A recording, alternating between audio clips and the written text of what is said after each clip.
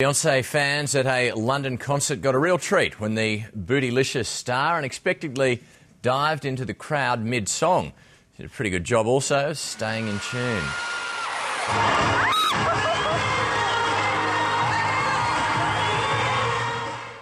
Like a true star, she kept her high heels on for the entire time.